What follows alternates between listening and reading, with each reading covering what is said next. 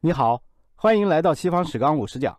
上一讲啊，我跟你讲了屋大维的故事，重点是告诉你，大规模的共同体治理啊，只能依靠大规模的制度创新。屋大维啊，解决了这个问题，也就是古代大规模复杂社会的基本治理框架。但是罗马的大框架存在着致命的缺陷，这个致命缺陷呢，其实在帝制时代到来之前就已经埋下了。经过了两百年的盛世，五贤帝时代结束之后啊，罗马就堕入了深渊，内战一打就是一百多年，帝国境内生灵涂炭。那我们就得追问，繁荣的罗马为什么会陷入内战？我先告诉你基本的逻辑，这个逻辑是一个文明当中的政治，如果不能降服自己的武力，它就会被自己的武力摧毁。每个文明的武力是不是充足呢？还真不太一样。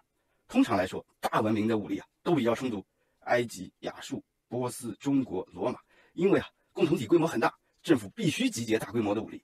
如果是君主制呢，武力的结构一般就是两种情况：君主有相对优势或者绝对优势。相对优势呢，就是跟所有人比，君主是第一名。君主想坐稳江山啊，他必须拥有这个国家之内的相对武力优势，也就是说，无论他在一国之内武力占比有多低，他总是第一名。这样呢？他至少能够保证单挑的时候一定会胜利，否则呀，比他强的人一定会把他挑落马下。相对武力优势是君主的及格线，绝对武力优势呢，当然也是第一名，但是它意味着君主在一国之内啊，武力占比超过了百分之五十一，也就是说，所有人加起来都打不过他，他就可以高枕无忧了。中国历史上最接近绝对武力优势的当然是秦国，以一敌六，全部把他们打败。通常来说，做到绝对武力优势是君主的梦想。但是呢，成本太高，太难办到了。所以啊，君主制当中的武力通常是处于相对优势和绝对优势之间。相对优势和绝对优势都建立在一个基本的政治前提之上，就是国家的武力属于君主，军权一旦旁落啊，君主不会有好下场。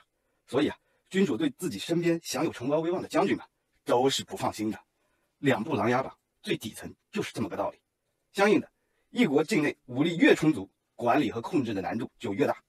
罗马呀。天生就是军国主义，也就是说，罗马不仅靠武力起家，而且靠武力成长。对罗马来说，打仗不能停，就像药不能停，饭不能停是一样的。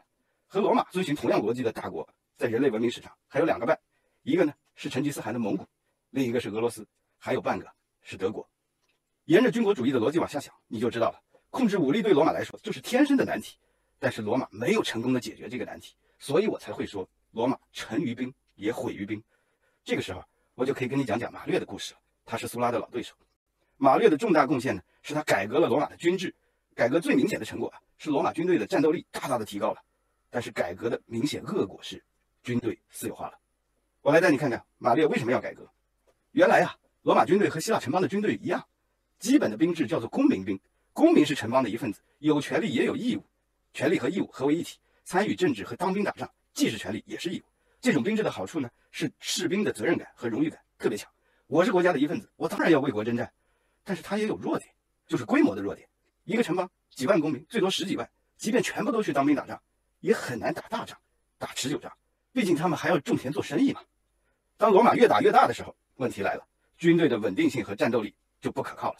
先说稳定性，罗马公民征战在外，一去就是几年、十几年，家里什么情况都不知道。等到他凯旋回了罗马。地被人占了，老婆跟人跑了，孩子找不着了。如果分到的战利品和土地还不够还债，你觉得当兵还有意义吗？即便报酬很丰厚，前半生的家庭损失也弥补不了了。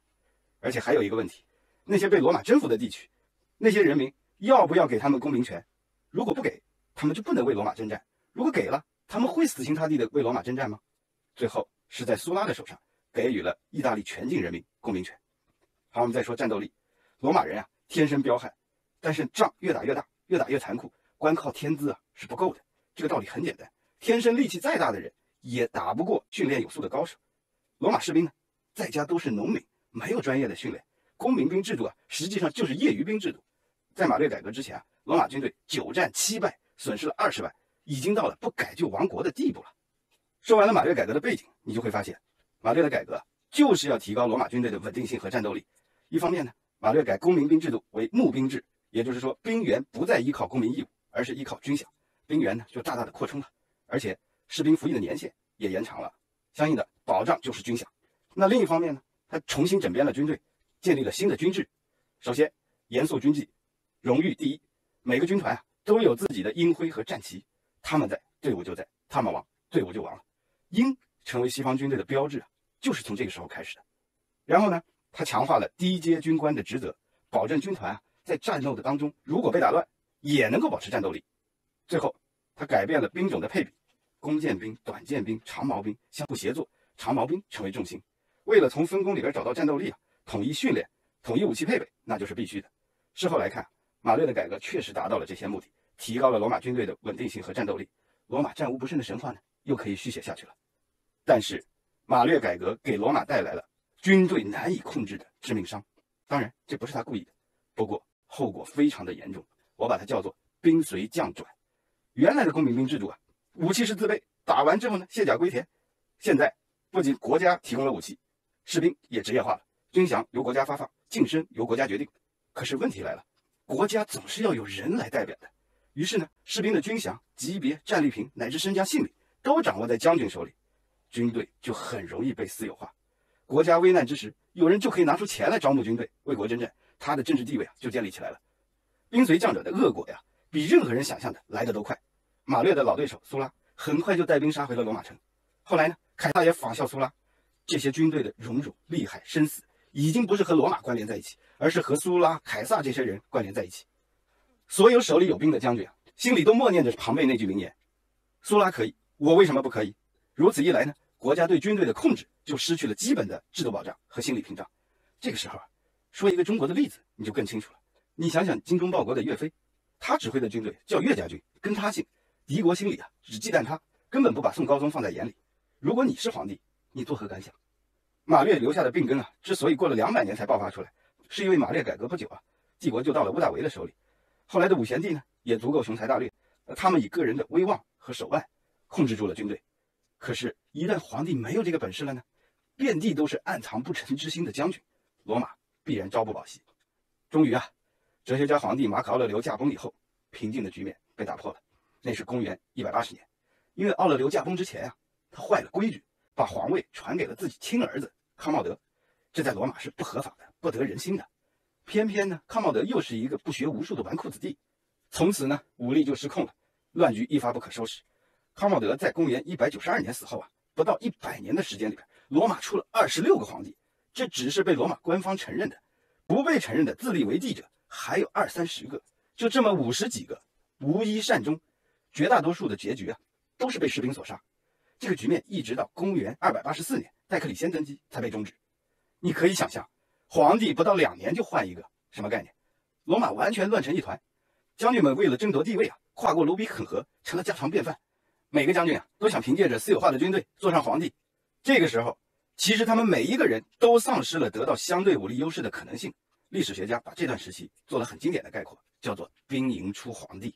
后来呀，这种状况进一步恶化，都不用将军们跨过卢比肯河了，谋权篡位的主力啊成了禁卫军统领。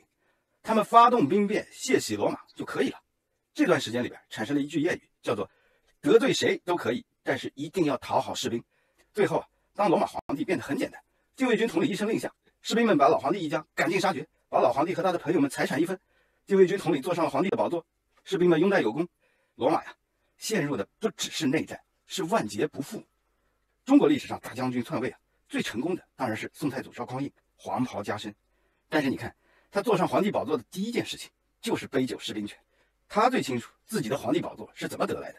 但这还不是中国历史上最像罗马内战的场景，最像的是南朝宋齐梁陈和五代十国，绝大多数开国皇帝啊都是兵变夺权上位，绝大多数上位之后呢，都把前朝皇室赶尽杀绝，这也就意味着绝大多数夺权者的后代啊都被后来人赶尽杀绝了。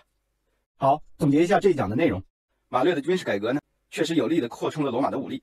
把罗马从城邦式的公民兵制度升级为适应大规模征服的募兵制，为罗马以武得天下打开了大门。但这同样也打开了通往不归路的大门。兵随将转，导致军队私有化，军队成为将军们争夺地位的武器。